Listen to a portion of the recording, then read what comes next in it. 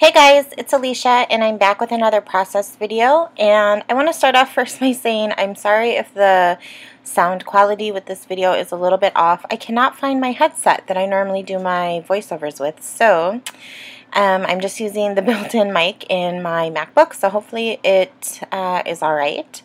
Um, yeah, so I am starting off uh, with a picture of my new puppy.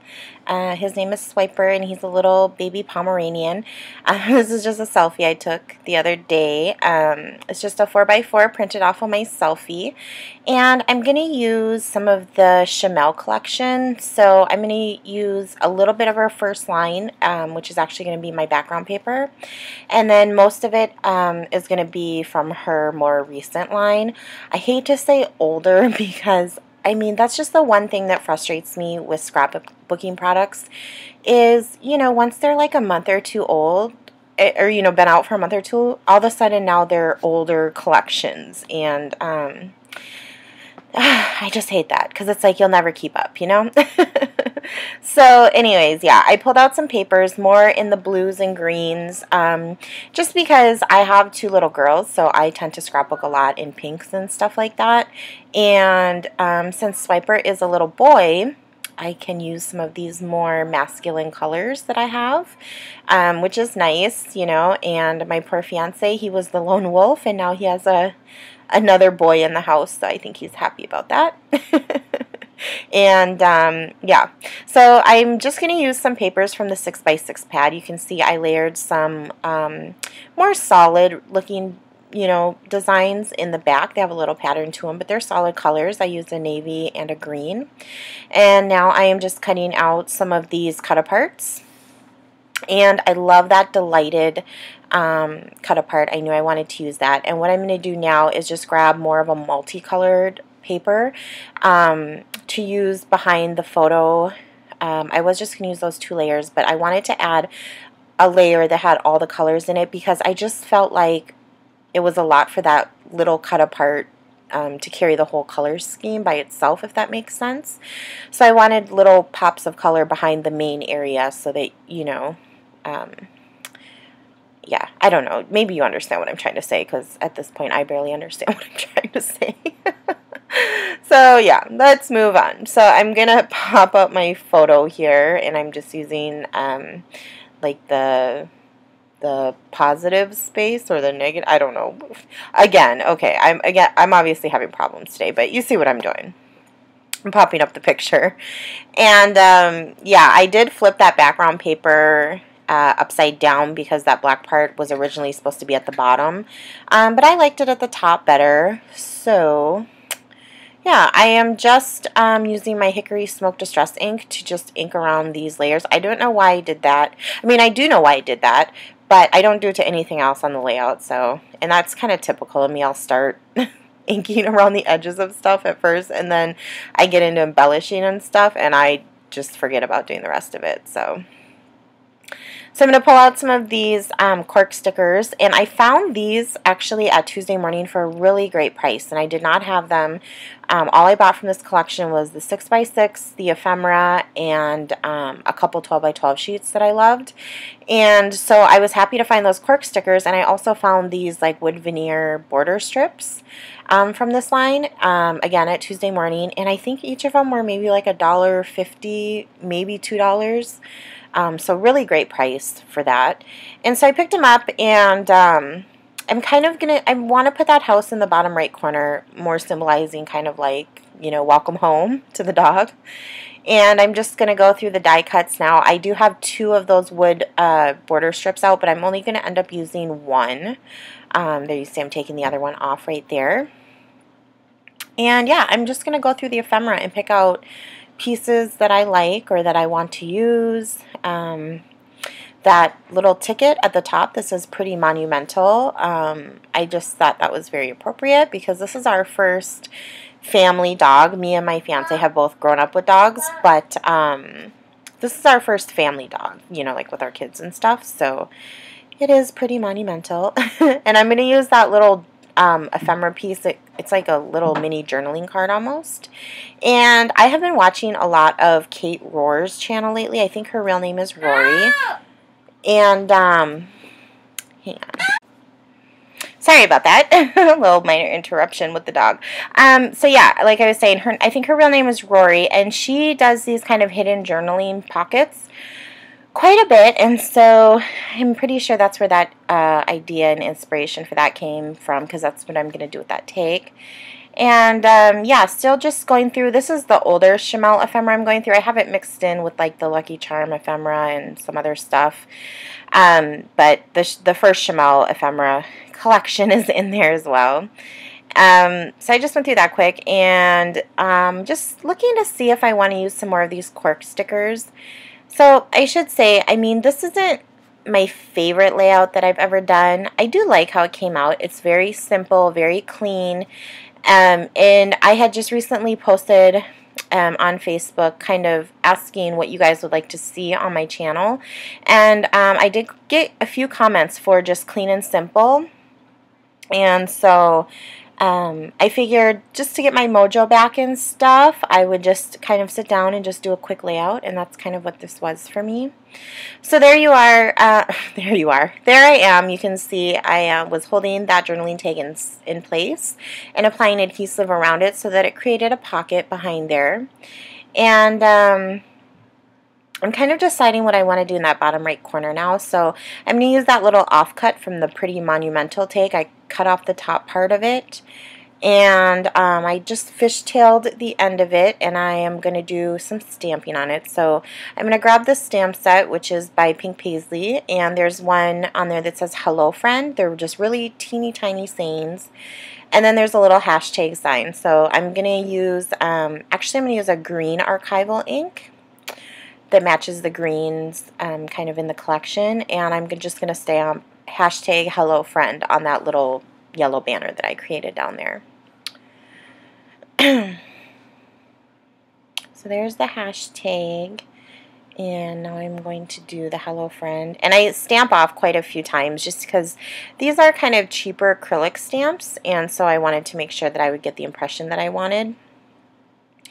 So, I mean, yeah, there we go. Hashtag hello friend. Um, and I have a little ephemera piece down there, a little navy and I don't know, aqua teal flower, I guess, behind that cork house. So I'm just going to layer those up, and I felt like that banner was kind of lonely, so I'm just going to cut a strip off of this um, the striped paper that has all the colors from the collection in it, and I'm going to fishtail that as well, and just layer that in behind that yellow banner that I made.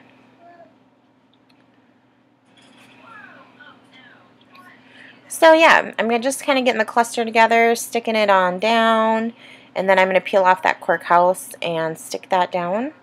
Um, I'm glad that I just want just got to use it on this layout because I don't know when else I would be able to use that.